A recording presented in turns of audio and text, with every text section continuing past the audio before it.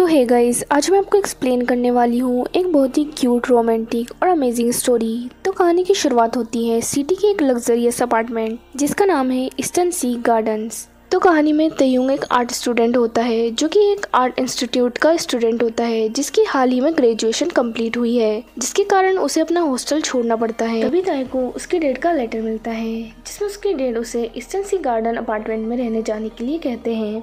ताई के पास फ़िलहाल कोई जॉब और ज़्यादा पैसे नहीं थे, इसलिए वो बिना कुछ सोचे अपार्टमेंट में जाकर रहने को राज़ी हो जाता है।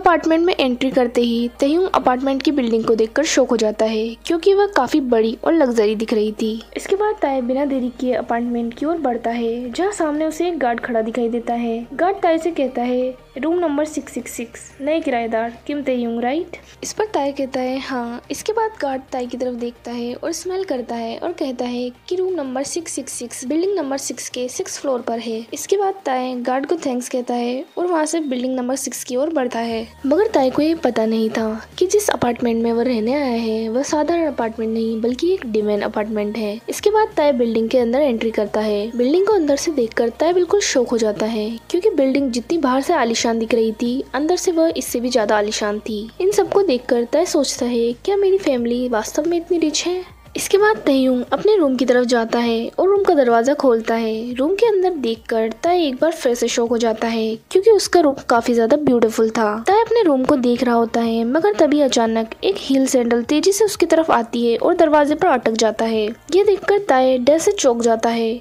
तभी ताय को पीछे से एक लड़की की आवाज़ आती है। लड़की कहती है, पाक जिबिन तुम्हारी हिम्मत कैसे हुई मेरे सामने आने की? अचानक ये आवाज़ सुनकर तय शोक हो जाता है, मगर फिर सोचता है कि, पाक जिबिन ये नाम तो मुझे कहीं सुना हुआ सा लग रहा है। तय देखने के लिए पीछे मुड़ता है, तभी उसके सामने एक हैंडसम सा लड़का आता है। लड़का कहता है हे लिटिल बॉय मेरा नाम है पाक ज़मीन और मैं लड़का ये बोल रहा होता है, तभी एक लड़की उस पर आकर अटैक कर देती है और उसे दीवार पर पिन कर देती है। लड़की ज़मीन से कहती है कि अगर तुमने फिर से मेरे बॉयफ्रेंड को छीनने की कोशिश की तो मैं तुम्हें छोड़ूँगी नहीं। ये सब देखकर तय बिल्कुल शौक हो जाता है। तय उन दोनों के फेसेस को गौर से देखता है, क्योंकि वो दोनों चेहरे उसे थोड़े जाने पहचाने से लग रहे थे। तभी तय को अचानक याद आता है। तय सोचता है कि क्या ये दोनों, क्या ये दोनों award winning actor Park Jimin और सुपरस्टार यिनिंग है।